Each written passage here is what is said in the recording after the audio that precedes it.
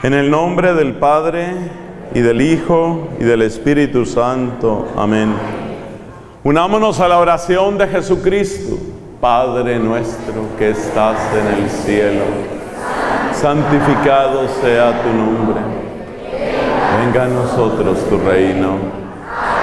Hágase tu voluntad en la tierra como en el cielo. Danos hoy nuestro pan de cada día Perdona nuestras ofensas, como también nosotros perdonamos a los que nos ofenden. No nos dejes caer en tentación y líbranos del mal. En el nombre del Padre y del Hijo y del Espíritu Santo. Amén. Siéntense, por favor. Hermanos amados, la reconciliación es la gran necesidad de nuestro tiempo, eso no lo podemos negar. Necesitamos reconciliación en las parejas. Hoy la gente está buscando el divorcio prácticamente como primera opción. Ya no nos entendimos, ya esto no funcionó, vamos a separarnos. Con mucha facilidad se rompe la comunicación, con mucha dificultad se recupera. Los papás sienten que los hijos llegando a cierta edad prácticamente los pierden. Yo he visto el rostro angustiado de mamás que me dicen, mi hija prácticamente no me habla, me responde todo con monosílabos. Hija, ¿cómo le fue en la universidad? Bien. ¿Y el examen? Bien.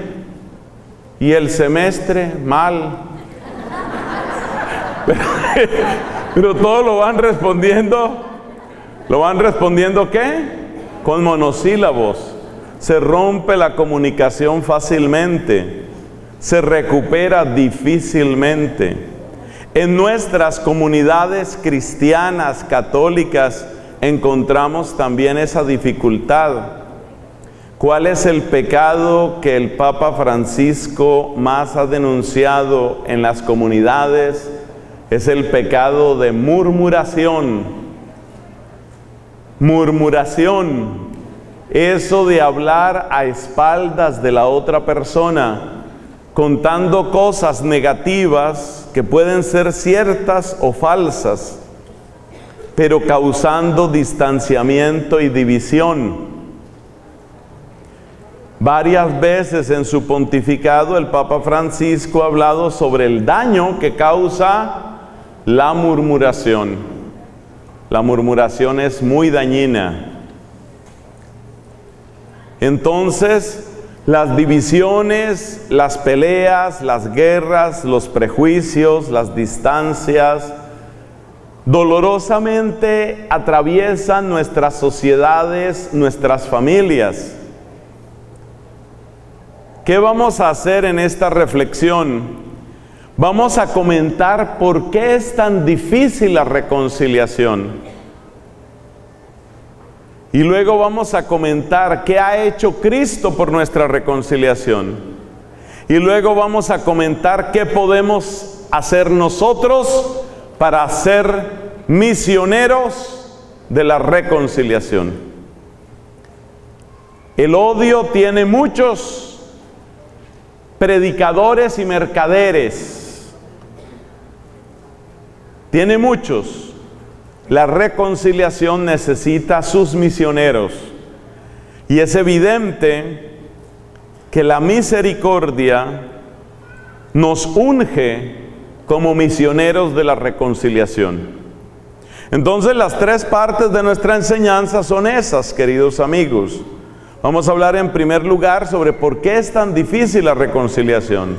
Segundo, ¿qué ha hecho Cristo para nuestra reconciliación? Ahí nos vamos a apoyar especialmente en los capítulos 1 y 2 de la carta a los Efesios. Y luego vamos a comentar qué podemos hacer nosotros para que llegue a nuestra vida aquella bienaventuranza del capítulo quinto de San Mateo. Bienaventurados los que trabajan por la paz, los que hacen la paz. Entonces, primera parte, ¿por qué es tan difícil la reconciliación? Vamos a dividir este primer punto en dos. La primera parte, lo primero que vamos a estudiar en este punto es, ¿por qué cuesta trabajo reconciliarse cuando uno está en medio de un conflicto? ¿Por qué a nosotros mismos nos cuesta tanto perdonar y ser perdonados? Esa va a ser la primera parte. La segunda puede ser un poco más nueva para algunos de ustedes. Vamos a hablar de los mercaderes del odio. Es un tema poco predicado, muy necesario en este día. Este Congreso de la Misericordia nos habla del trabajo. Dice aquí, mi Padre siempre trabaja y yo con él. Y es evidente que uno de nuestros trabajos es ese, el trabajo de la reconciliación. Pero ese trabajo empieza por ti y por mí. ¿Por qué cuesta tanto trabajo perdonar? ¿Por qué cuesta tanto trabajo sacudirse la amargura? ¿Por qué cuesta tanto trabajo sacudirse el prejuicio? ¿Por qué? Eso es lo primero que vamos a ver. Y segundo, vamos a hablar de los mercaderes del odio. Es decir, de aquellas fuerzas oscuras que actúan en distintos niveles de la familia y la sociedad y que parece que hacen buen provecho, obtienen algún tipo de beneficio, un beneficio pútrido, un beneficio que podríamos llamar maldito, pero obtienen algo, algo que les interesa sembrando odio. Y es necesario conocer este tema para no caer en sus redes, para no caer en las redes de los mercaderes del odio. Entonces el primer punto es ese, ¿por qué cuesta tanto trabajo reconciliarse? Y lo dividimos en dos. ¿Por qué me cuesta trabajo a mí cuando estoy en un conflicto? Pero también porque hay gente que está sembrando división, guerra, prejuicio y odio. Bueno, primera parte de esa primera parte. Como hacen en la universidad. Esto tiene, esta charla tiene uno, dos y tres. Pero ahora estamos en el 1.1. Luego iremos al 1.2. Fíjese, somos gente organizada. 1.1, ¿por qué me cuesta trabajo a mí perdonar? ¿Por qué me cuesta trabajo? La Sagrada Escritura, especialmente en los Evangelios, nos muestra por qué. La primera razón por la que a uno le cuesta trabajo perdonar es porque uno no ha descubierto suficientemente el tamaño del perdón que Dios nos da. Jesucristo tiene una parábola inmortal como todas las suyas. ¿Te acuerdas ese hombre que tenía una deuda inmensa y no podía pagarla? Y entonces le dijo a la persona a la que le debía, le dijo, mira, ten paciencia conmigo y te lo pagaré todo. Era una deuda fabulosa, por decir algo como 10 mil talentos. ¿Cuánto era 10 mil talentos? Algunos dicen, algunos estudiosos de la Biblia dicen que la suma que dijo Cristo equivale al pago total de los impuestos de toda Judea en un año. O sea, este hombre estaba debiendo más o menos lo que todo el país acumulaba en deuda en un año. Como si a ti te dijeran, tiene que pagar los impuestos que se pagan en Colombia durante un año. Era una deuda escandalosa, una deuda colosal, una deuda imposible. Y este hombre, diríamos, exagerando y mintiendo, dice, ten paciencia y te lo pagaré todo. Ay, Dios mío. ¿Cuánto se demora usted en acumular el dinero que se pagan impuestos en un país durante un año? Conmovido, Aquel a quien le debían el dinero le dijo, te perdono la deuda. O sea, le perdonó esa suma fabulosa. Y este va saliendo del palacio donde le acaban de perdonar su deuda y se encuentra con un compañero que le dice que le está debiendo 100 denarios. ¿Cuánto era 100 denarios? 100 denarios era más o menos lo que equivale a unos cuatro salarios mínimos. Es una suma, ¿no? Es una suma. O sea, tampoco es que no fuera nada. Pero si tú comparas cuatro salarios mínimos contra la deuda de todo el país en un año, esa es la comparación que había. Y entonces este, el que debía los 100 denarios, le dice, ten paciencia conmigo y te lo pagaré todo. Pero el otro dijo, no señor, a la cárcel con él. Y también su esposa y sus hijos, todos a la cárcel, véndanlos como esclavos, lo que haya que hacer, pero que me pague mis 100 denarios. Esa parábola de Cristo muestra lo que sucede con nosotros, es decir, cuando no conocemos lo que nos han perdonado, nos volvemos exigentes con los que nos deben algo. Pero vamos a decirlo en un lenguaje positivo. Cuanto más uno conoce cuánto le han perdonado, más está uno dispuesto a perdonar. Y ahora digámoslo en el lenguaje que entendemos aquí en la casa de la misericordia. Digámoslo. En ese lenguaje es, cuanto mayor es la experiencia de la misericordia, mayor es la capacidad de perdón. La persona que toma conciencia cada vez más profunda, cada vez más rica, cada vez más avanzada sobre lo que Dios ha hecho por mí, por mí, por mí. San Pablo se quedaba asombrado, Gálatas capítulo segundo. Me amó y se entregó por mí. Cuando caes en cuenta de eso, del valor de la sangre de Jesús, de su oración, cuando caes en cuenta de su amor victorioso en tu vida, empieza a prepararse el camino del perdón dentro de ti. Entonces, ¿cuál es la primera dificultad por la que uno haya difícil perdonar? Respuesta. La primera dificultad es conocemos muy poco a Cristo. Conocemos muy poco lo que Cristo ha hecho por nosotros. Entonces, si usted ora con juicio, por ejemplo, con la coronilla de la divina misericordia, cada vez que usted está diciendo, por tu dolorosa pasión, ¿cómo se dice?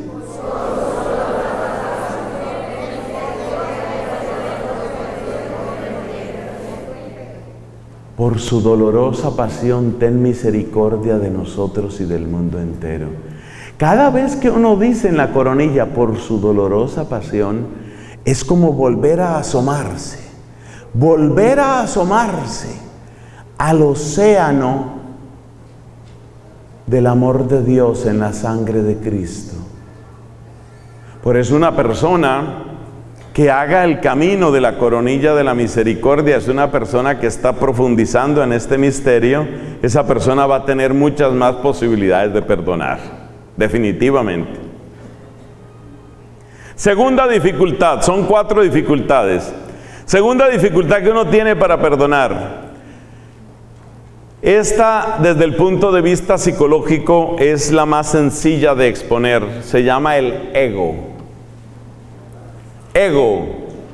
Es decir, el amor desordenado a uno mismo.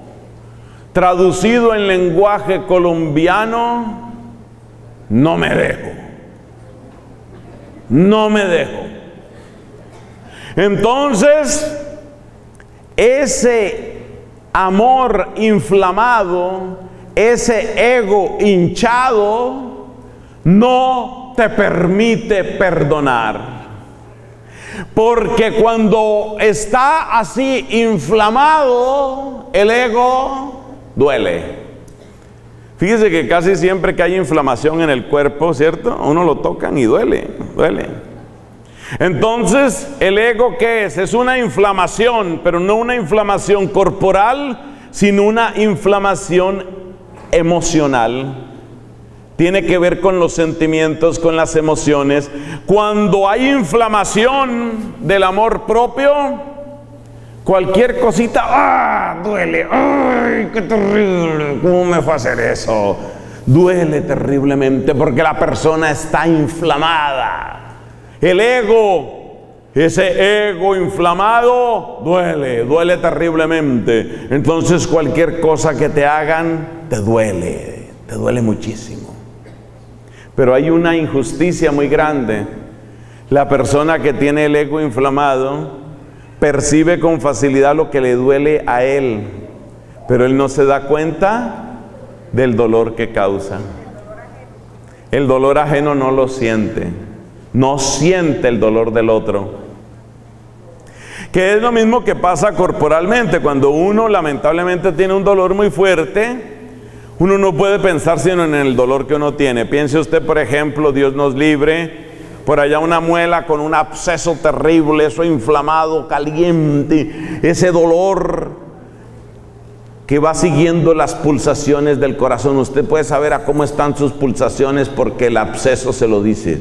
Tucu, tucu, tucu. Y cada tucu, ¿qué es? La pulsación de su corazón. Y usted siente que usted está inflamado. Tucu. Tucu. Tucu. Tucu. Y usted no puede pensar en otra cosa porque usted tiene su dolor. Entonces la persona que tiene inflamación del ego es una persona que solo piensa en lo que le duele. Lo que tú me dijiste lo que tú me hiciste, la manera como me miraste. Y eso no se le olvida y le duele.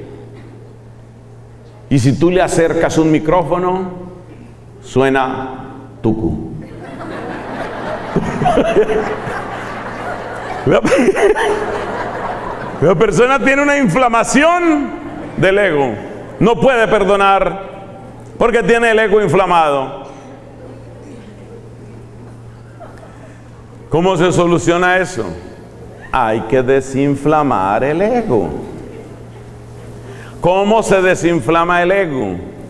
Hay un método doloroso y hay un método agradable. El método doloroso es las humillaciones. Entonces, a veces se encuentra uno personas que están sentadas en su restaurante, tienen ahí una bandeja, están comiendo algo grande. ¿Usted qué está comiendo? Me estoy aquí tragando mi orgullo. Las humillaciones de la vida lo obligan a uno a qué? A tragarse sus palabras y a tragarse el orgullo. Ese es el camino doloroso. Entonces hay gente que en una época tuvo mucha plata y en razón de la mucha plata que tuvo, eran de esas personas que todo miran así como en la distancia. Decía mi papá, todo le hiede y nada le huele. Ego inflamado. Pero esa persona que tenía mucho dinero pasa por una quiebra. Llega el momento en el que no tiene prácticamente para comer pasa por una humillación. Entonces debe comerse unos suculentos platos de orgullo. ¿Y usted qué come ahí? Mi orgullo, me estoy tragando aquí mi orgullo. A uno le toca tragarse el orgullo muchas veces. ¿Por qué? Porque la vida le da esos golpes. Yo nunca pensé que yo tuviera que pedir dinero y ahora estoy pidiendo dinero. Yo nunca pensé que yo tuviera que hacer este trabajo. ¿Yo qué era? Muy bien dicho, pretérito imperfecto del verbo ser. Era. Entonces, el ego inflamado muchas veces se desinfla dolorosamente por las humillaciones de la vida. Las humillaciones de la vida. Pero hay un camino amable que Dios en su ternura también se le ofrece a uno. Y yo les pido a ustedes que le pidan ese regalo a Dios. Yo se lo he pedido y me lo ha ido concediendo. Es un camino amable, no es tan duro. Es que lo de las humillaciones es duro, eso es duro. Eso de tener uno que pasar por tanta humillación y tragarse el orgullo y de paso tragarse una cantidad de palabras que dijo y empezar a pedir ayuda, uy, eso es duro, duro. Entonces el camino amable, ¿cuál es? Aprenda a reírse un poco de usted mismo. Dese cuenta lo ridículo que usted es. Aprenda a reírse de usted. Mire, ese es un remedio suave. Ese remedio desinfla el ego y no duele tanto. Aprenda a reírse. Dese cuenta que usted es ridículo. Muchas veces usted es ridículo. Entonces, a medida que usted le pide a Dios la gracia de reírse de usted mismo de una manera suave, de una manera dulce, usted va desinflamando el ego. ¿En qué punto estamos? Estamos en el 1.1.2. Claro, por favor, hay que ser ordenados. Punto 1, dificultades para el perdón. 1.1, dificultades que cada uno de nosotros tiene. 1.11, ¿qué era? No, no, no, esta gente. Que uno no tiene conciencia de todo lo que Cristo le ha perdonado. Ese es el 1.1.1. Ahora el 1.1.2, el ego. Me doy cuenta que lo de Cristo se les olvidó, lo del ego no. Por algo será, decía mi mamá, por algo será que no se les olvida lo del ego. Tercero, o sea, 1.1.3. No hay como ser organizado uno en la vida. ¿Qué otra cosa dificulta el perdón? Esto lo estudia mi querida amiga, a la que cito con frecuencia porque me ha hecho tanto bien Santa Catalina de Siena. Se llama mal uso de la memoria. La memoria es un tesoro, la memoria es una potencia del alma, decía San Agustín y repite Santa Catalina, pero el mal uso de la memoria es terrible para el perdón y para la reconciliación. ¿En qué consiste el mal uso de la memoria? En que si usted viera la agenda que tienen algunas personas, agenda para el día de hoy, a las 7 de la mañana, Eucaristía. Siete y media de la mañana, desayuno, lavada de losa. 8 de la mañana, voy a escuchar la emisora católica. De 9 a 11, recordaré ofensas que me han hecho.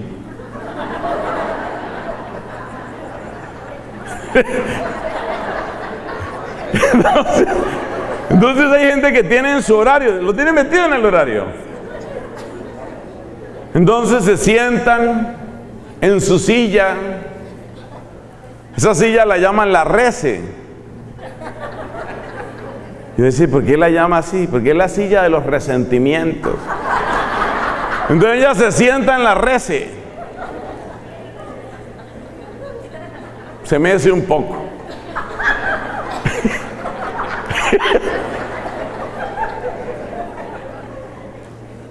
Oiga, esa cuñada mía, mucho ser desgraciada, ¿no?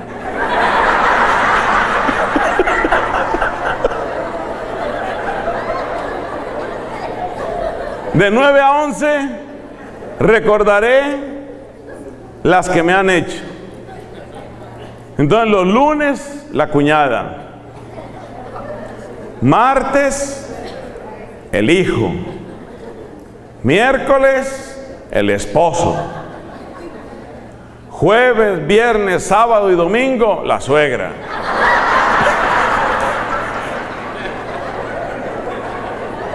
Entonces se sienta en la rece.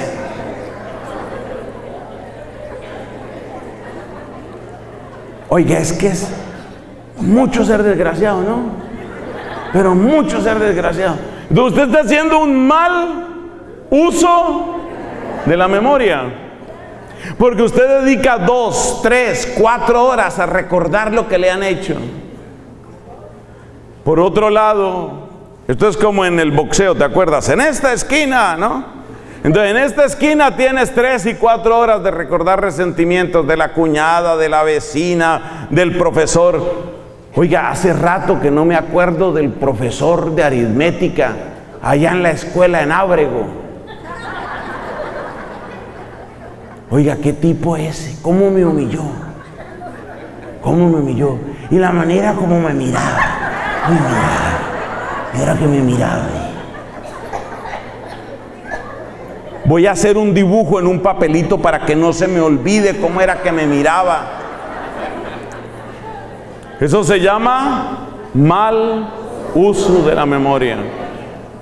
Entonces, en esta esquina tenemos ese mal uso de la memoria. En la otra esquina, adivine quién está, Juan Carlos Saucedo.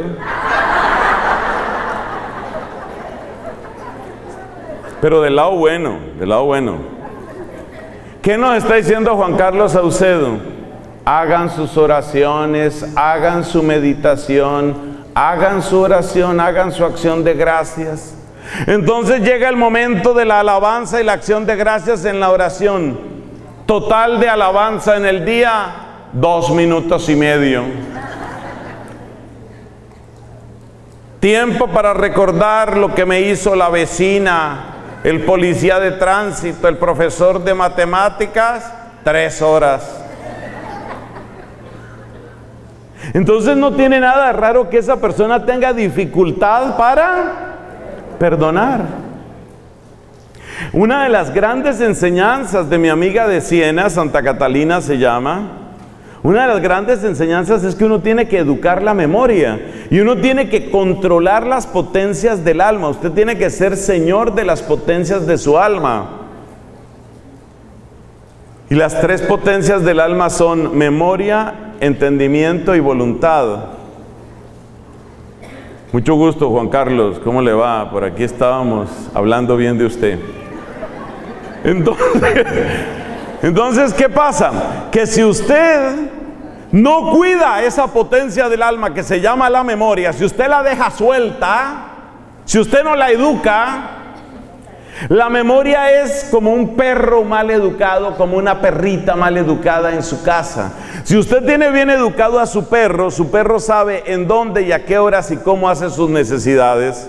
Si usted tiene una perrita, un perro mal educado en su casa, usted sabe a qué va a oler esa casa, porque el perro hará lo que sea donde sea. Esa es la memoria mal educada, deja hedor en el alma. Usted tiene que educar su memoria. Por favor, más tiempo para la gratitud, más tiempo para la alabanza, más tiempo para decirle a la gente y decirle a Dios, gracias. Menos tiempo para estar usted en su mesa, ¿cómo era que se llamaba en su silla esa? La rece, meciéndose, meciéndose en la rece. Oiga, esa suegra así, mucho lo desgraciada, ¿no?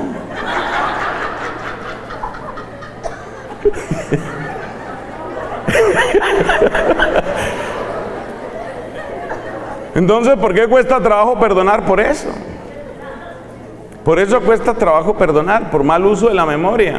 Pero usted puede educar la memoria y tiene que educar la memoria.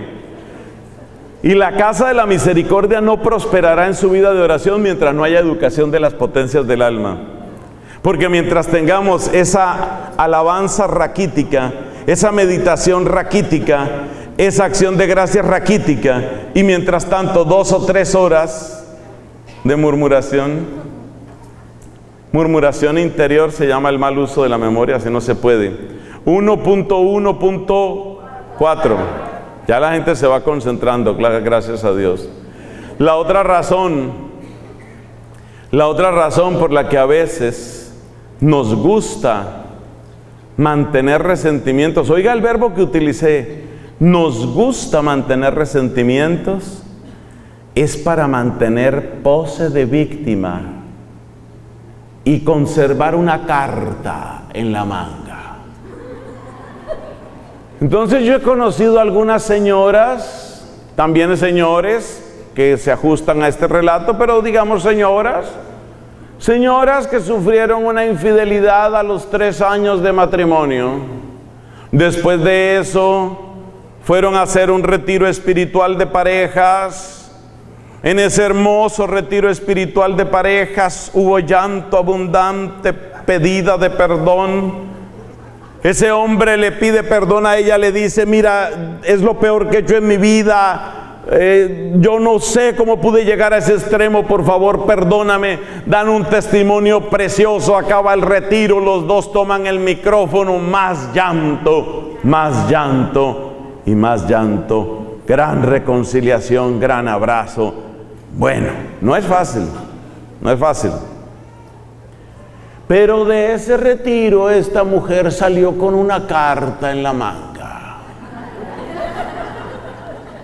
Eso significa que tres meses después el hombre dice, mira, tengo que ir a cerrar unos negocios a Ciudad de Panamá. Ustedes saben que en Ciudad de Panamá pasa mucha cosa. Mucha cosa buena. Pero y entonces, ¿ve? ¿Sí se da cuenta? ¿Sí se da cuenta? ¿Se da cuenta de los prejuicios? ¿Se da cuenta? ¿Qué pasa? Oiga, ¿qué cosa? Hay que orar por sanación realmente. Bueno, sigo, sigo. Entonces le dice el esposo a la esposa, mira, tengo que ir a Ciudad de Panamá a cerrar unos negocios. Ella saca su carta.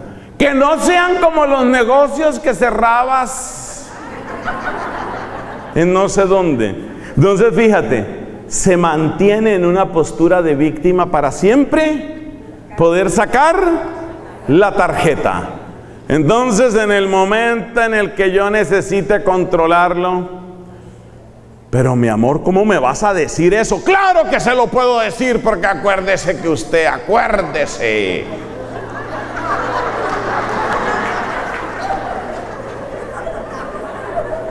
Entonces a veces uno no perdona de corazón. ¿Por qué no perdona de corazón? Porque si uno fuera a perdonar de corazón, si uno fuera a perdonar de corazón, uno no guardaba cartas, ¿cierto? Cuando uno está guardando cartas, cuando uno está guardando esa especie de resentimiento, ¿por qué es? Porque le conviene. a veces uno no perdona porque no le conviene perdonar a fondo.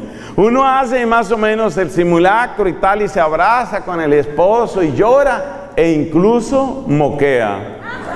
Pero no hay verdadero perdón porque hay una carta que está en la manga.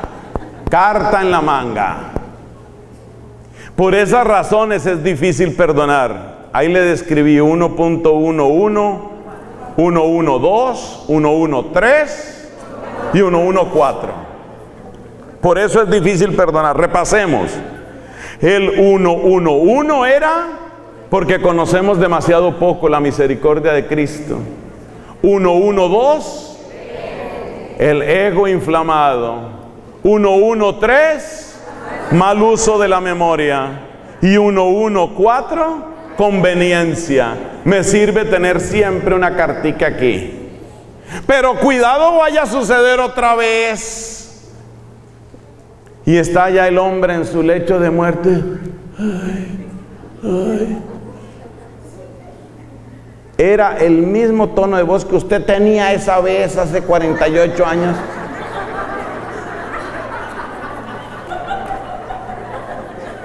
Entonces mucha gente dice, ¿por qué hay tanto hombre que nunca sale de cuidados intensivos? Ahí está. Ahí está, Ahí está la explicación. Pasemos al 1.2. Ya el 1.1 se acabó, 1.2. Vamos a hablar de los mercaderes de la muerte. Ay, esto sí que es muy triste.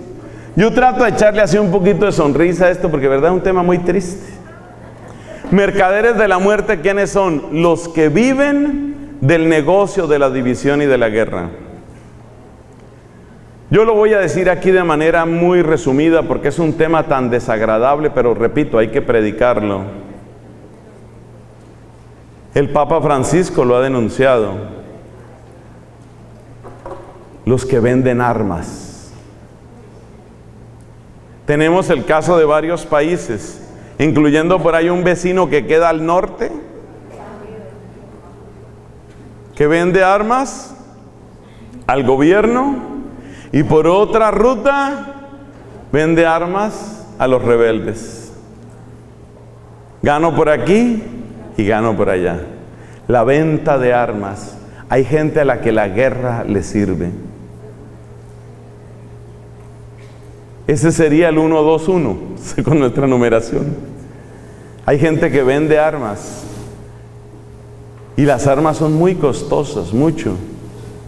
Cada avión de guerra que ustedes vean, cada avión de guerra que vean, vale millones de dólares. Cada avión.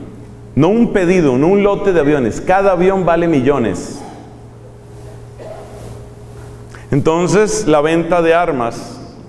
Y junto con las armas, el entrenamiento. Así, por ejemplo, un rebelde israelí estuvo en este país, en Colombia, dando entrenamiento de terrorismo a las FARC. Ganó muchísimo dinero, muchísimo. ¿Y cómo hizo su dinero? Dando entrenamiento para cómo dar golpes terroristas efectivos. Y ese es su negocio. Entonces hay personas que hacen dinero con la muerte. Ese es el 121, 122. Hay gobiernos que para distraer la atención de la gente en circunstancias difíciles, siempre muestran un ataque desde fuera. Entonces, el que fue papá de todos ellos se llama Fidel Castro. Cada vez que se complicaba la situación de hambre y de escasez en Cuba, la culpa la tenían los malditos yanquis. Siempre la culpa está afuera. Hay países que crean guerras. Algunos dicen, no llega mi conocimiento y mi información hasta allá, pero algunos dicen que las guerras del Golfo, en las que resultó implicado un país del norte, las guerras del Golfo fueran también distractivos. Eso viene desde mucho tiempo atrás, en el siglo I antes de Cristo, cuando empezaba a declinar la popularidad de un hombre multi, multi, multimillonario, uno de los más ricos que ha conocido la tierra. Ese hombre se llamaba Crasus. Crasus es de la época del emperador Julio César. Hizo triunvirato con Pompeyo y con Julio César. Crasus era un hombre muy rico, pero en la mentalidad romana no basta con ser rico, tienes que ser un general victorioso. Entonces él, para llenarse de gloria, para recuperar importancia política, se inventó una guerra con la zona conocida como Partia, con los partos. Se fue a, la guerra a Partia. Entonces inventarse guerras es una estrategia vieja de los gobiernos para que la gente concentre su odio, su atención hacia afuera y deje de pensar en la escasez, la pobreza y la opresión y la represión que tienen adentro, entonces inmediatamente se dirige la atención hacia otro lado. Entonces eso se llaman los mercaderes de la muerte, mercaderes del odio. 1.2.3 ¿En qué otras circunstancias hay personas que siembran odio? Hay personas que siembran odio para aumentar su poderío económico. Ejemplo, el imperio británico en África y en Asia. Todo el mundo sabe lo que hacía el imperio, la corona británica en África. ¿Cómo pudo, cómo pudo Inglaterra adquirir tantísimo poder? O sea, tú miras el área de Inglaterra, y tú miras el tamaño de África y miras cuántos países pudieron ser subyugados por el imperio británico y dices, ¿cómo le hicieron? Como preguntan los mexicanos, pero ¿cómo le hicieron? Respuesta, lo que hacían los británicos era, llegaban a una zona y en todas partes hay distintas tribus. Entonces lo que hacían era aliarse con la tribu A para decirle, vamos a derrotar a la tribu B. Eso se llama divide y reinarás. Y por supuesto, fortalecidos con la inteligencia militar que les daba la tribu A, eran capaces de vencer a la tribu B. Pero una vez vencida la tribu B, tú que eres la tribu A, estás en deuda conmigo, porque yo fui el que te di la victoria. Entonces yo me quedo con el terreno de la tribu A y de la tribu B. Hay un refrán en la lengua suahili, que es una de las lenguas más difundidas en África, el suahili. Hay un refrán en suahili, pero mi suahili está muy, muy mal, entonces yo solo le digo la traducción a usted. El refrán dice, si pasas por un lago y hay dos peces peleando a muerte, es que antes pasó por ahí un británico. Sembradores de odio, sembradores de odio. Necesito que estas tribus se odien. Ese es el 1, 2, 3. 1.2.3. Sembradores de odio. Porque ese al que yo apoyo para vencer al otro es mi manera de entrar para ganar terreno. Lo mismo en otros en otras claves hicieron otros imperios. Hernán Cortés hizo exactamente lo mismo para vencer a los aztecas. Cuando usted mira lo que era el imperio azteca y el número de españoles que llegaron a Veracruz, usted dice, ¿cómo pudieron lograrlo? Con esa estrategia. Entonces hay gente a la que le sirve sembrar odio. 1.2.4, son 5 en total. 1.2.4 que es el marxismo y el neomarxismo. El marxismo se basa en sembrar odio. Es exactamente lo opuesto al evangelio. Exactamente lo opuesto en esta materia. Exactamente lo opuesto. Por eso tuvo razón San Juan Pablo II y todos aquellos que denunciaron el análisis sociológico, la descripción de la sociedad a partir del marxismo, porque el marxismo está impregnado de odio desde el día número uno. El método marxista siempre es el mismo. Tomas un sector de la población que ha sido maltratado, para el caso de Carlos Marx, ese sector era el proletariado de la naciente revolución industrial en Inglaterra pero luego se ha ido cambiando, se ha ido, ha ido mutando en los distintos sitios. Entonces, ¿en qué consiste el marxismo? El marxismo consiste en que tú tomas a ese sector de la población y ¿qué haces con ellos? Han sufrido, ¿qué haces con ellos? ¿Los consuelas? No. ¿Los alivias? No. ¿Los ayudas? No. ¿Qué haces? Exacerbas su odio porque el odio de esa multitud es como la ola en la que tú te vas a montar para llegar al poder. Ese es el marxismo. Es cabalgar sobre una ola, pero primero hay que hacer la ola. Y la ola es el levantamiento de un pueblo hastiado. Entonces lo primero es lograr el hastío, la rebeldía y el odio. Y donde llega el marxismo o los distintos neomarxismos, la estrategia es la misma. Entonces, cuando sube al poder un comunista, cuando sube al poder un marxista, lo primero que tiene que hacer es tomar el micrófono y hablarle muchas horas cada día o cada semana a la población para señalarles todo el tiempo quiénes son los malditos que los tienen así.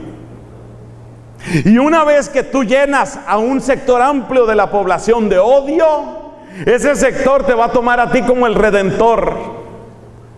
Entonces esas personas no entienden nada de reconciliación, porque la reconciliación sería exactamente lo contrario de su estrategia. Entonces te das cuenta que el marxismo o los distintos neomarxismos siempre se apoyan en el odio. Aquí hay que recordar a un pensador, politólogo, líder comunista italiano de comienzos del siglo XX, lo menciono con alguna frecuencia, porque es un hombre que realmente tuvo una visión tenebrosamente penetrante, si puedo hablar así. Este señor se llamaba Antonio Gramsci, G-R-A-M-S-C-I, Gramsci. Hay que estudiar a ese señor, Antonio Gramsci. Hay que conocer lo que estaba sucediendo con él. ¿Qué estaba sucediendo con él? Él se dio cuenta que la estrategia marxista, de dedicarse únicamente a los pobres del proletariado, no daba mucho de sí en Italia. Entonces él fue el que cayó en la cuenta. Tenemos que dedicarnos a otras minorías, a otros sectores de la población que están siendo maltratados, para hacerles a ellos el mismo tratamiento, inyectarles odio. De las teorías de Gramsci, de los métodos de Gramsci, proviene toda la actuación del neomarxismo en nuestro tiempo. Dentro de ese neomarxismo hay que destacar al lobby LGBT, es exactamente eso.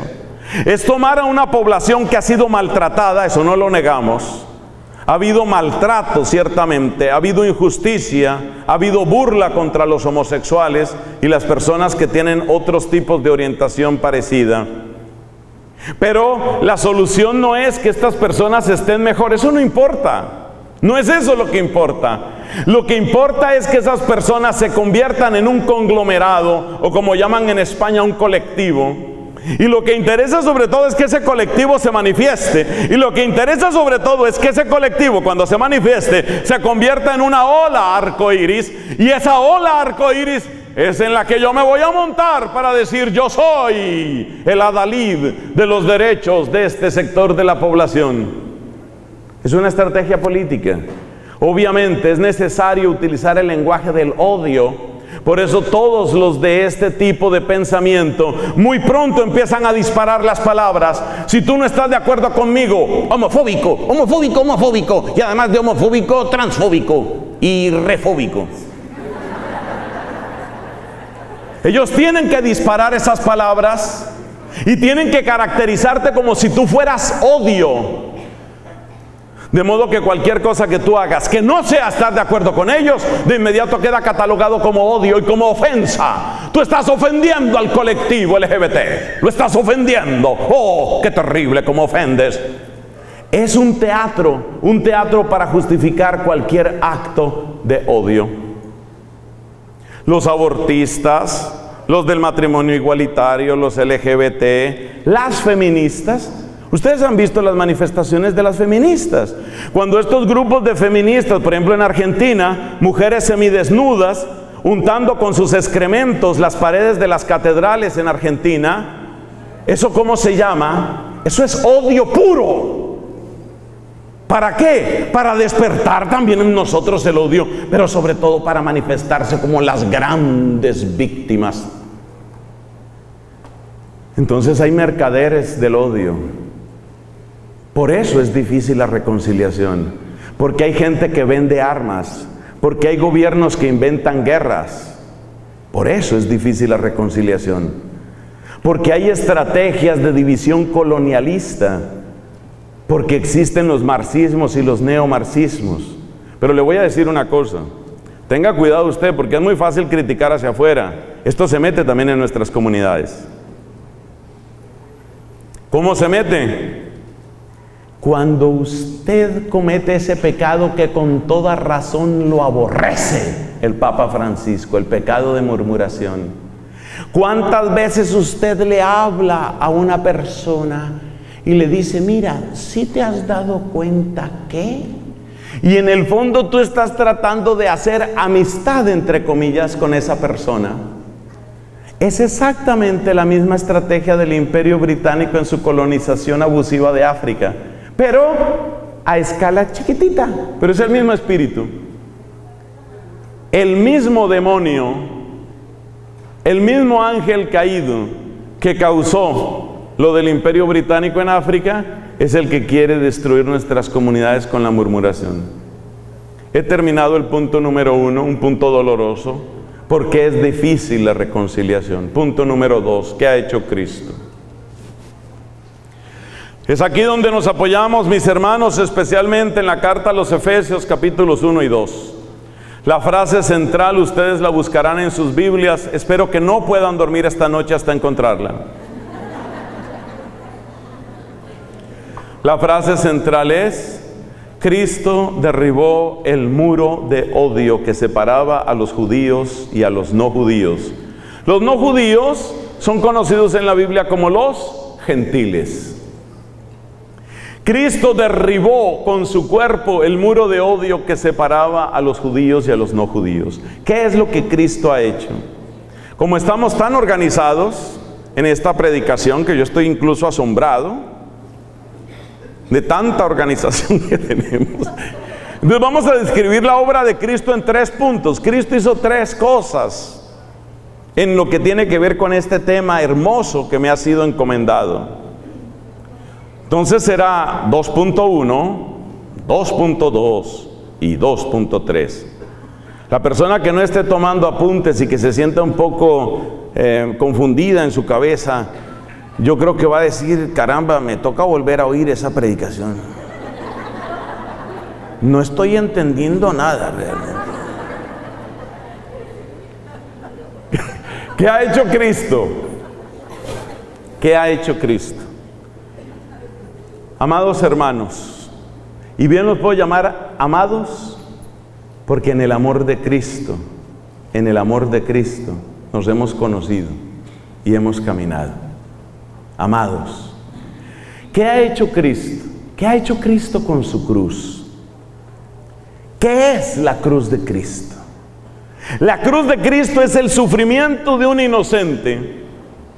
Es el sufrimiento extremo de un, de un inocente extremo. A ver si puedo hablar. Repito esa frase.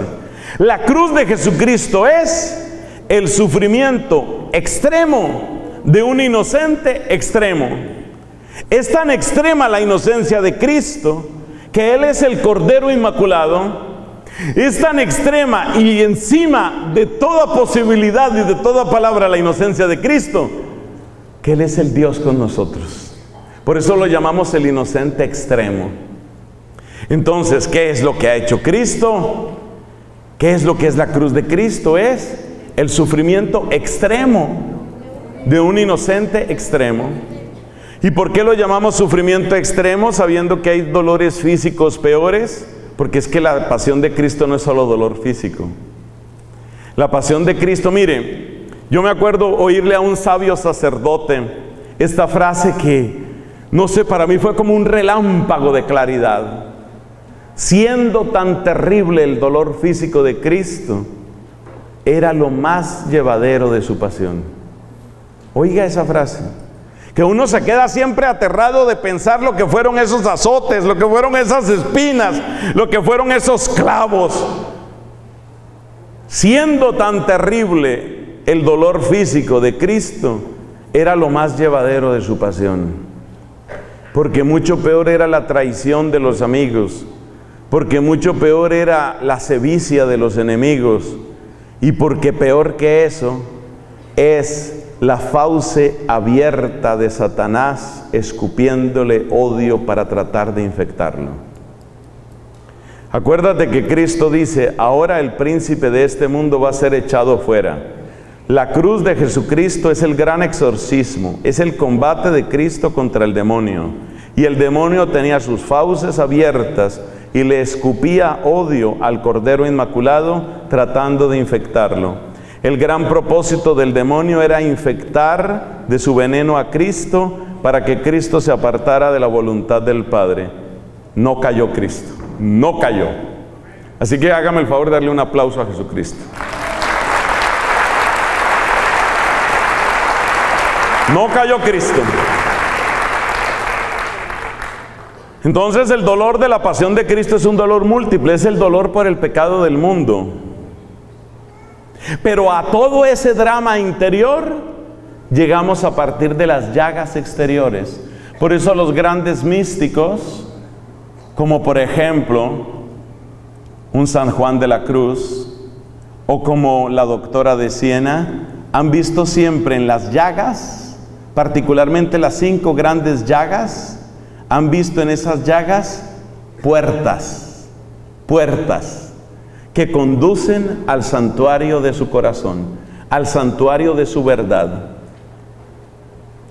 El dolor más grande de Cristo no es el dolor físico, pero a partir del dolor físico, que ha sido reteñido por el Espíritu Santo con el rojo escandaloso de su sangre, a partir del dolor físico, uno se ve obligado a entrar por unas puertas que son sus llagas, y en esas llagas se asoma a ese océano de dolor. Es el dolor extremo, es el sufrimiento extremo del inocente extremo. Eso es la cruz. Cuando aparece el sufrimiento extremo, me doy cuenta que mis sufrimientos son pequeños.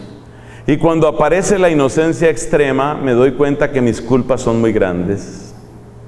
Por eso desde hace años me gusta comparar la pasión de Cristo la venerable y santísima pasión de Cristo me gusta compararla con un disparo, un disparo del amor de Dios. Disparo que es capaz de impactar mi corazón Disparo que es capaz de derribar mis murallas más espesas, más altas, más antiguas que las de Jericó.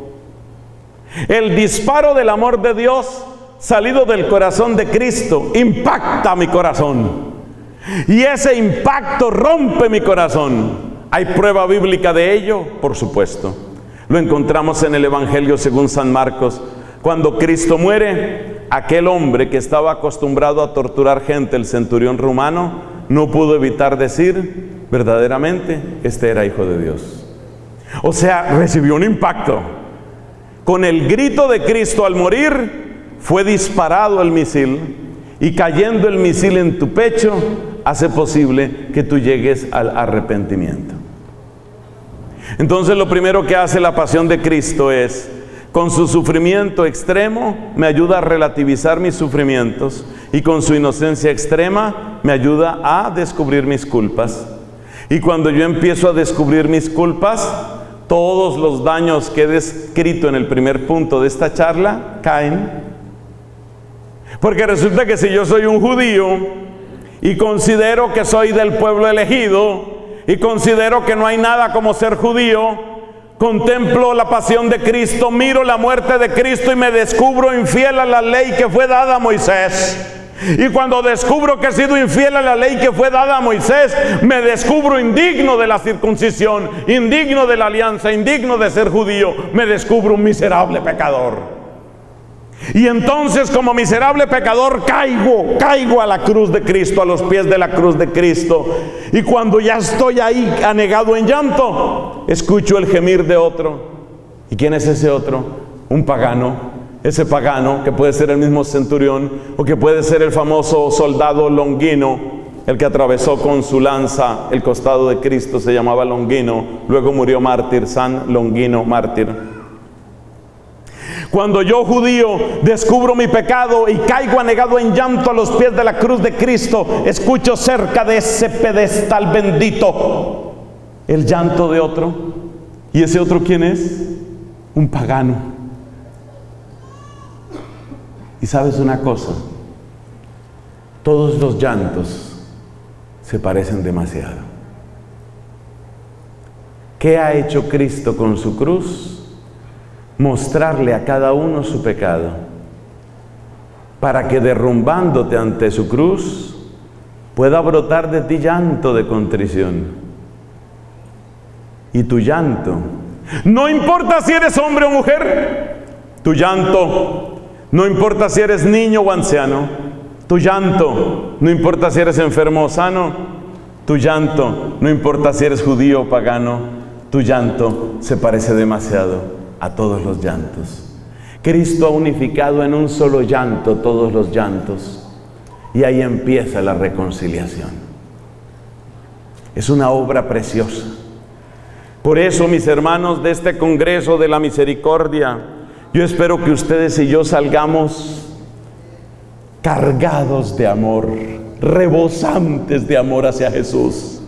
Es demasiado lo que ha hecho por nosotros, demasiado. Segundo, Cristo en la cruz, ¿qué más ha hecho? Todo se basa en su sacrificio. Por eso la, la, pasión de Cristo hay que amarla con locura, hay que amarla con todo.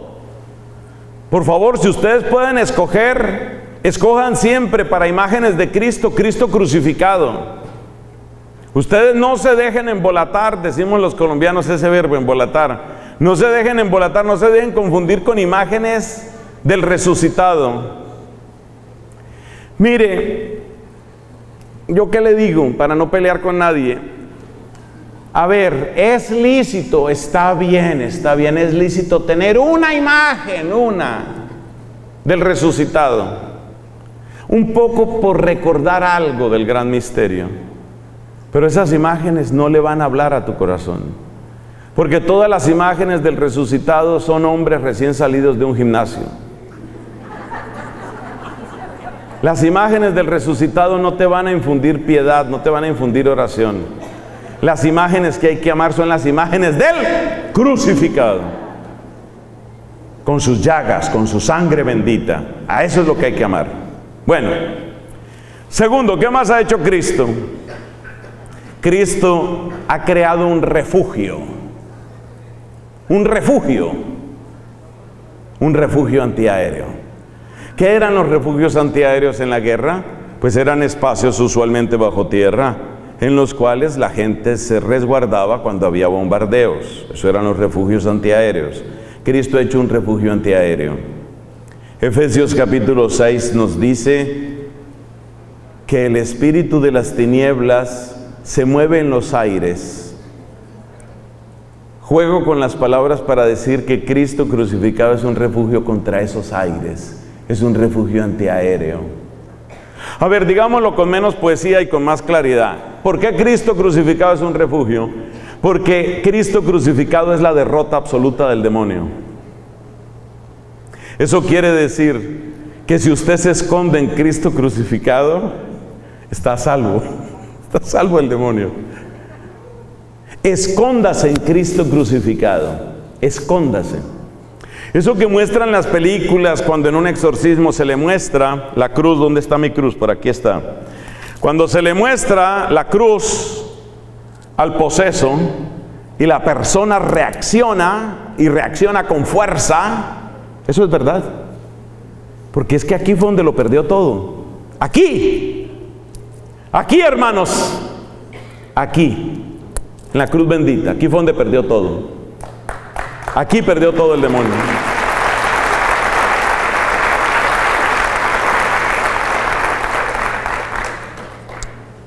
Si en la cruz el demonio perdió todo, la cruz es el refugio seguro para ti. La cruz es el refugio seguro. Cristo te dio con su pasión, te dio un refugio antiaéreo. ¿Eso qué quiere decir? Que cuanto más tiempo y más amor dediques a la cruz, más huye de ti el demonio. Yo quisiera citar más a Santa Faustina, pero me toca citar a Santa Catalina. ¿Qué dice la doctora de Siena? Dice, cuando empiezan en la vida cristiana, ellos le tienen miedo al demonio. Cuando avanzan en la vida cristiana, el demonio les tiene miedo a ellos. Entonces el gran reto para la casa de la misericordia, para cada uno de ustedes y a cuantos lleguen estas palabras es, seamos cristianos a los que el demonio le tenga miedo. Amén. Cristianos a los que el demonio le tenga miedo. Yo siempre cito el caso de otra santa de comienzos del siglo XIV, Inés de Montepulciano, una monja de clausura. Era una monja que tenía una especie de ministerio de exorcismo. Ella no hacía exorcismos, pero era tanto el fastidio y el miedo que le tenía el demonio a Santa Inés de Montepulciano, que cuando le llevaban un poseso allá al monasterio, el demonio prefería irse con tal de no estar cerca de ella. Esa es la santidad. Entonces, en la medida en que nos escondemos en la cruz de Cristo, el demonio se aleja. Y a medida que el demonio se aleja, se van con él sus mentiras, se van con él sus odios y el perdón se vuelve posible. Tercero, o sea, 2.3. Oiga, no hemos perdido la numeración. 2.3. ¿Qué más ha hecho Cristo por nosotros? Cristo nos ha dado un filtro entonces, ¿qué es la cruz? Fíjate, la cruz es un misil de amor, ¿no? Directo al pecho. ¡Ah! Me llegó al corazón. La cruz es un refugio para nosotros los pecadores. Y la cruz es un filtro. Aquí llamamos filtro. Los filtros se utilizan para purificar cosas o separarlas. Típicamente usted tiene tal vez en su casa un filtro de agua entonces a través del filtro quedan a un lado las cosas que usted no debe consumir y al otro lado queda lo que sí puede consumir. Cristo crucificado es un filtro. Haga pasar usted sus amistades, sus entretenimientos por la cruz de Cristo.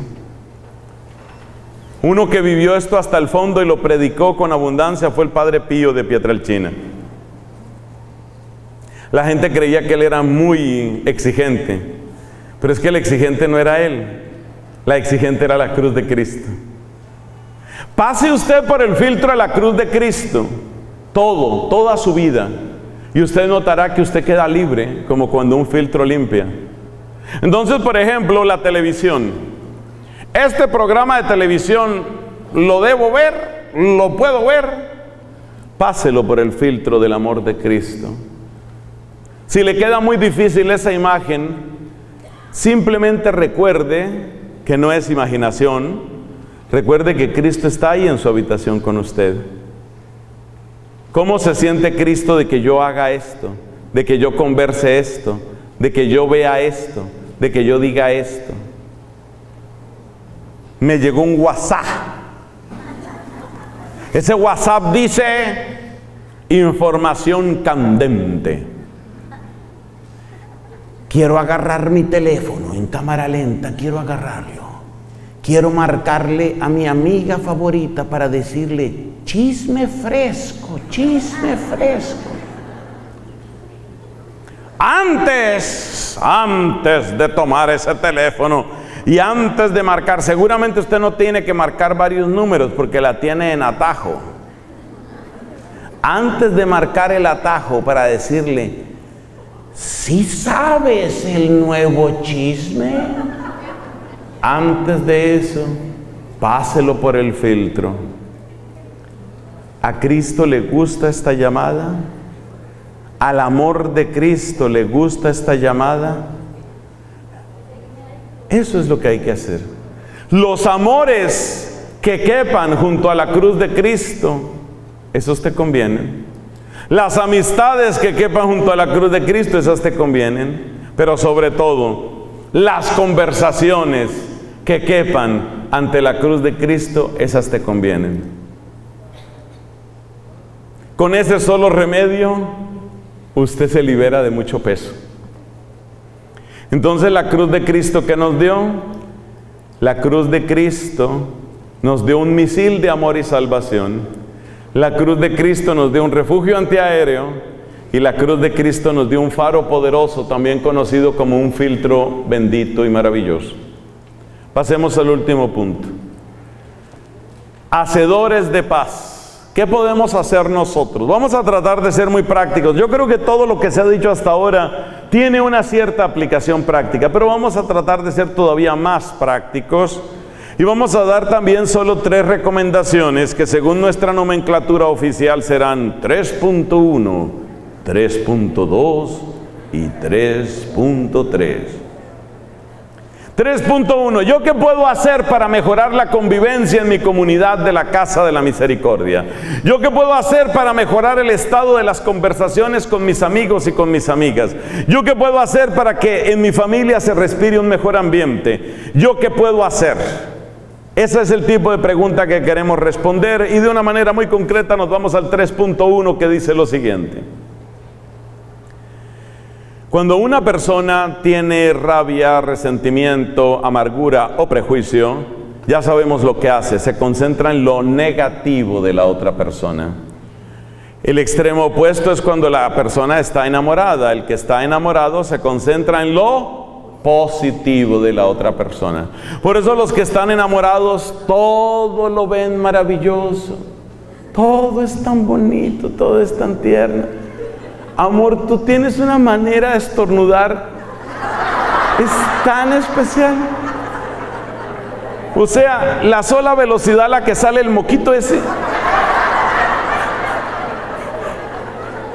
El que está enamorado, todo lo ve. Ah. Pero lo contrario, cuando uno está amargado, resentido, todo lo ve mal y todo lo que haga está mal. Y además, no solo uno ve que las cosas están mal, sino que uno todo lo personaliza. ¿Por qué usted se sentó así? ¿Eh?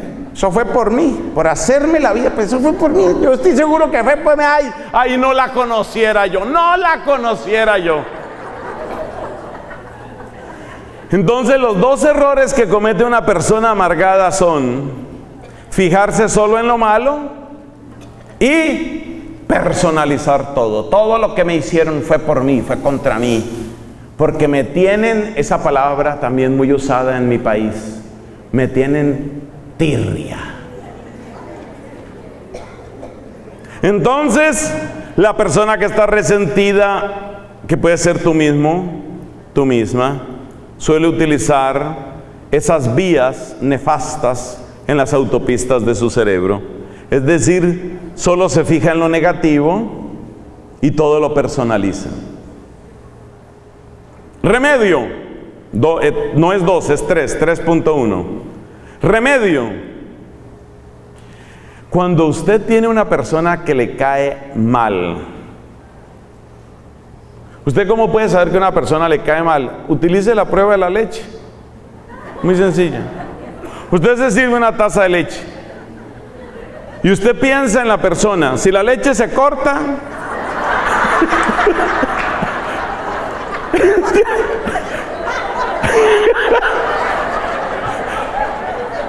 es que la persona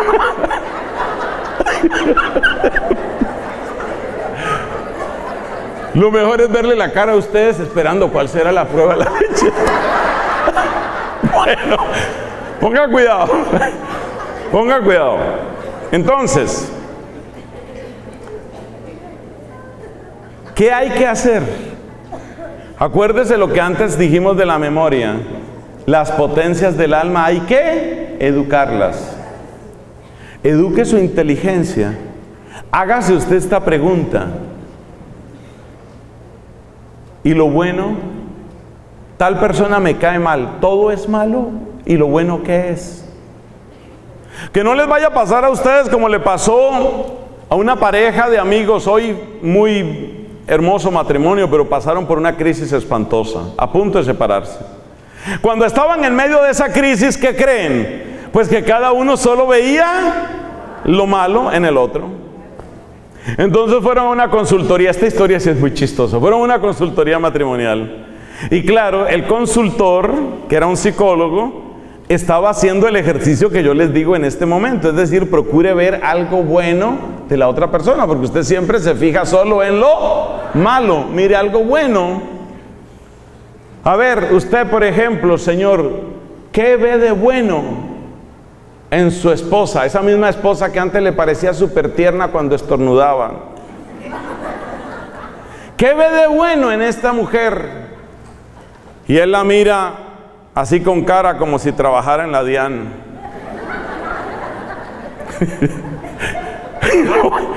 bueno, no sé si alguien trabaja aquí en la DIAN, bueno, entonces el tipo la mira y se quedaba callado. Haga el esfuerzo, hombre. Algo bueno que ella tenga. Bueno, es mortal. Lo único bueno que tiene es que es mortal, ¿no? Hermanos, ese ejercicio hay que hacerlo. ¿En qué tiene razón el que no piensa como yo? ¿En qué tiene razón? ¿Qué es lo bueno que yo no he observado en esa persona y que por consiguiente nunca se lo reconozco y nunca se lo agradezco? Nunca. Porque si no lo veo, tampoco lo digo. Si no lo digo, no lo reconozco. Si no lo reconozco, tampoco lo agradezco. Ese ejercicio es buenísimo. Jesús lo hizo. Yo no me estoy inventando esto. Jesús lo hizo. ¿Tú te acuerdas la parábola del buen samaritano? ¿Y te acuerdas cómo era la relación entre los judíos y los samaritanos, cierto? Eran prácticamente enemigos a muerte hasta el punto de que un samaritano era capaz de dejar sin un vaso de agua a un peregrino judío si iba para Jerusalén. Que le den agua en otra parte y ojalá se intoxique. Y tenían odio. ¿Y a quién puso Cristo de ejemplo de caridad? ¿A quién? Al samaritano. Imagínese al samaritano. O sea, tomó al enemigo y lo puso como ejemplo. En otra ocasión, un centurión romano le dijo, Señor, no soy digno de que entres en mi casa. Dilo simplemente con tu palabra. Yo también estoy bajo obediencia. Yo le digo a un soldado, ve y va, ven y viene. Dilo solo con tu palabra. Y Jesús se detuvo en el camino, levantando la voz, les dijo a los que estaban ahí, que eran todos judíos, les dijo, les aseguro que en Israel no he encontrado tanta fe. Oiga, para Cristo tiene más fe un pagano, un romano, que ellos. O sea, usted mire lo que es eso. Y alabando el arrepentimiento, la prontitud en el arrepentimiento, no alabando el tipo de vida, sino la prontitud en el arrepentimiento de los publicanos y de las prostitutas, dijo, ellos y ellas van delante de ustedes. Entonces la primera estrategia es esa, voy a fijarme siempre en qué es lo que no estoy viendo. Voy a buscar siempre qué es lo que no estoy viendo de esta persona. No solamente que es mortal, ¿no? Voy a buscar lo bueno de esa otra persona. Esa es la primera estrategia para construir la paz. Y esto es muy importante, aplicárselo uno en primer lugar a sí mismo. Segunda estrategia, para ser constructores de paz y misioneros de paz. Cuando una persona le esté dando quejas y se esté desahogando con usted, probablemente buscando un tipo de solidaridad y o complicidad, le hago esta recomendación. Si es una persona cercana a usted y que tiene ocasión que posiblemente le puede escuchar, posiblemente, le pido este favor. Déjela primero que se desahogue un poco, porque el ser humano necesita eso. Pero en cuanto vea la ocasión y pídasela a Dios, ayúdele a la persona a ver su parte. Porque acuérdese que cuando uno está señalando y señalando y señalando, uno no ve la parte de uno. No podemos construir la paz si solamente estamos señalando. Alguien decía, cuando usted señala con este dedo, hay tres dedos que lo están señalando a usted. ¿Cierto? ¿Te señala? Tres dedos lo señalan a usted. Entonces construimos la paz. Primero si empezamos a buscar y a darle el lugar que merecen los aspectos positivos de la otra persona. Segundo, si reconocemos nuestra parte. Mire, ya con esos dos remedios ya se arreglan muchas cosas, pero muchas, pero muchas. Y hay un tercero, hay un tercer elemento que lo han practicado muchos y entre ellos el Papa Francisco también quiere ser de los que lo practican. ¿A qué me refiero? Hermanos, levante su mirada. Acuérdese que cuando uno tiene rabia, uno todo lo personaliza. Levante su mirada y hágase esta pregunta. ¿Cuál es el bien que podemos construir. Porque usted, ahora sí se sentó bien. Estoy suponiendo, ¿no? Porque usted me cae mal, yo le caigo mal. Pero si nos pasamos la vida entera en que usted me cae mal, yo le caigo mal, nos caemos mal, os caéis mal, se caen mal. Si usted se pasa la vida conjugando ese verbo, no vamos muy lejos. Salga de la conjugación del verbo, caerse mal. Salga de la conjugación. ¿Cómo sale uno de la conjugación? Hágase esta pregunta. ¿Cuál es el bien que podemos construir? ¿Cuál es el bien que podemos construir? Esto que les acabo de decir se puede aplicar desde un matrimonio hasta una alianza de naciones. Es impresionante. En el matrimonio, y con esto termino, en el matrimonio se ve muy bien, empezar por darse cuenta el aspecto positivo del otro. Segundo, reconocer la responsabilidad que yo también he tenido. Y tercero, pensar, oiga, nosotros podemos construir un bien. Y básicamente esos son los pasos que se siguen en toda reconciliación de pareja. Siempre son esos pasos. Ahora, usted puede enriquecer un poco más por ejemplo, si usted empieza a valorar esa esposa con la que antes discutía tanto, si usted empieza a revalorar, a volver a valorar a esa mujer, si usted se da cuenta que realmente es tan valiosa y usted empieza a observar cualidades de ella, entonces usted ya no solamente las va a pensar, sino que las va a decir y se las va a reconocer y la va a elogiar y tal vez va a tener un detalle con ella. Así se construye la paz, así, así. Por eso decía el Papa Francisco el año pasado cuando vino en esa misión de reconciliación y de paz, decía, hay que dar el primer paso, hay que dar el primer paso. No estemos esperando siempre a que el otro, porque ese es el juego de los egos. Procure dar usted el primer paso, procure. ¿Qué puede dar usted? Un reconocimiento, una palabra, una felicitación, un agradecimiento, un detalle, siempre en el respeto, siempre en el cariño. Entonces ahí están las tres estrategias muy sencillas, muy elementales, ¿cierto? Esto no es ciencia de cohetes, esto es una cosa muy sencilla, pero le cuento que sirve. Fíjese mucho en el aspecto positivo de la otra persona. Segundo, dése cuenta que usted también ha cometido errores. Tercero, piense cuál es el bien que usted puede construir. Pero claro, como nosotros no somos solo seres humanos, sino somos creyentes, sabemos que todo esto solo tendrá su fruto se está ungido por la oración. O sea, esto no quita lo, lo, que dijimos a lo largo de la charla, sobre todo la parte de Cristo. Déjese cautivar por el amor de Cristo, déjese invadir del amor de Cristo, que le entre en su pecho el tsunami de la misericordia del Señor, que ese impacto de la misericordia lo llene de amor y usted tendrá la fuerza y tendrá la luz para ser un constructor de paz porque el mundo reclama reconciliación. Hay demasiado odio, hay demasiada división. Necesitamos ser misioneros de reconciliación. Gloria al Padre, al Hijo y al Espíritu Santo